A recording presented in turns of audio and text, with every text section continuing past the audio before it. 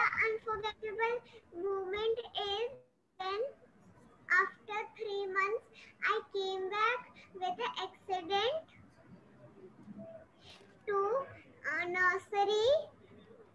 After three months, my friends and my teachers uh, cared me and loved me.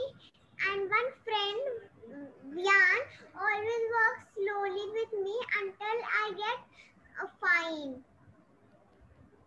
And That's- until I get fine, and also um, that thing I can never forget the lovely things of my friends and my teachers and also uh, when my when my nursery friends go to the swimming pool time I go with the other class to the horse riding and horse the uh, one horse the white one pink a pinku that was such cute that I love all the horses. My favorite moments are in my Zoom classes in grade one only.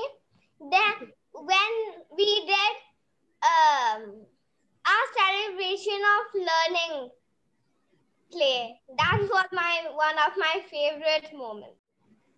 And the, the next moment is of the celebration of learning only that I I really loved dancing in the end. favorite moments are when I was in nursery, I take roti and throw under the table. That was my last day. My Bihu ma'am got me, and then I never do that again. And and my next moment is when I was in KG, my friends get food from their home chocolates or chips, then they eat in the bathroom. I also take little bit. unforgettable is in, in the library.